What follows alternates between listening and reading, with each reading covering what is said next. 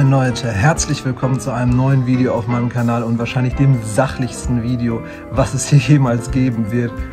Erstmal zu mir.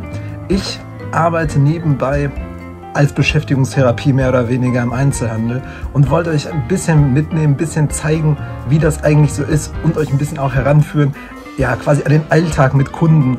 Denn ich denke, das könnte für einige relativ interessant werden. Zunächst mal, es ist ja der entspannteste Job nebenbei im Einzelhandel zu arbeiten. Das kann man gar nicht anders sagen. Der Einzelhandel ist super entspannt. Ich meine, man macht im Endeffekt sehr wenig und wird dafür eigentlich relativ, naja, anständig bezahlt.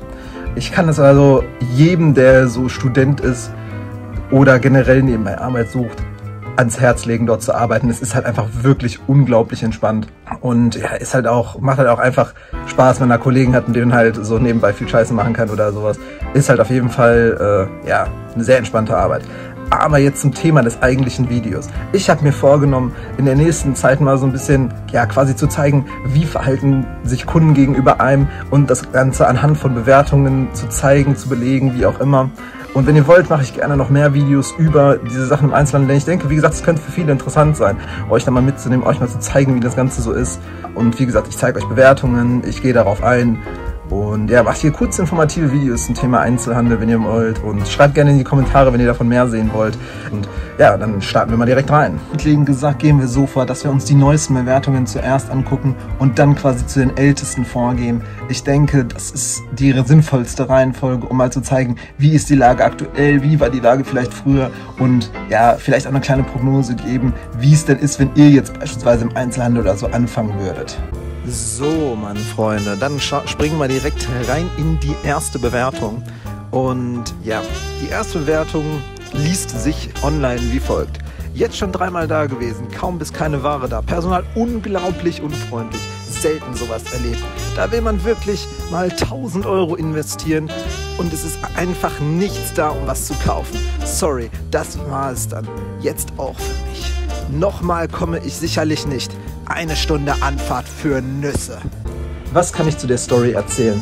Also, letztendlich kann man zu der Story sagen, ja, der Kunde war letztens bei uns im Laden und wollte was kaufen, wie er das schon vorgetragen hat online. Ja, natürlich ist es mal schade, wenn Kunden eine Stunde fahren und wir haben nichts da.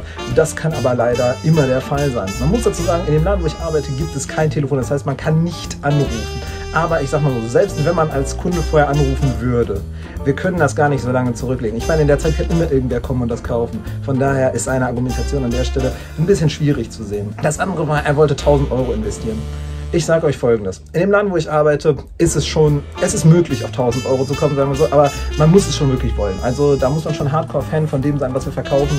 Und man muss wirklich ja, Lust auf das Ganze haben und auch Lust haben, da wirklich 1000 Euro mal zu investieren. Und ja, von daher ich hatte diese Investition über 1000 Euro tatsächlich nur ein einziges Mal, seitdem ich dort arbeite. Und ich arbeite dort seit über einem Jahr tatsächlich. Ich muss jetzt auch sagen, ich arbeite nur noch 20 Stunden da, aber ich habe natürlich Einblicke in allem, was da so quasi passiert. Ne? Und von daher lässt sich sagen, dass er wirklich da 1000 Euro investieren wollte, ist relativ unwahrscheinlich. Kommen wir nun zum letzten Punkt. Und zwar meinte er, dass das Personal unglaublich unfreundlich war, unverschämt, bla bla bla. Ich sage euch folgendes. Der Kunde war eigentlich relativ freundlich zu mir.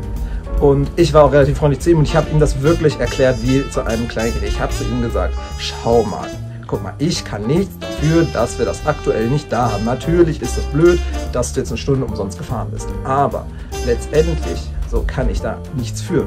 So, es ist halt halt doof gelaufen, aber ja, auch im Endeffekt die eigene Schuld, sage ich mal. Ne? Man hätte halt wenn man das unbedingt haben wollen würde, auch online bestellen können.